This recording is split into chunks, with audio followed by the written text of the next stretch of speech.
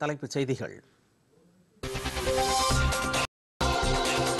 குடியரசுத் தலைவர் தேர்தலில் தேசிய ஜனநாயக கூட்டணி வேட்பாளர் திரௌபதி முர்மு வெற்றி. வரும் இருபத்தி ஐந்தாம் தேதி பதவியேற்கிறார்.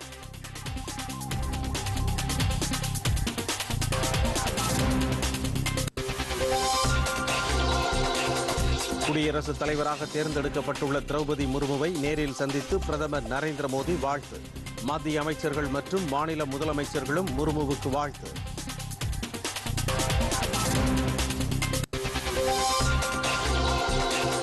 தேச நலனுக்கு எதிராக செயல்பட்ட எழுநூற்று நாற்பத்தி ஏழு இணையதளங்கள் தொன்னூற்று நான்கு யூடியூப் சேனல்கள் முடக்கம்.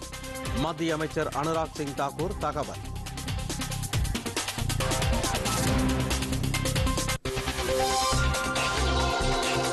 பொருளாதார நெருக்கடியில் சிக்கியுள்ள இலங்கை மக்களுக்கு ஆதரவாகவே இந்தியா எப்பொழுதும் துணை நிற்கும். மத்திய வெளியுறவு அமைச்சகம் உறுதி.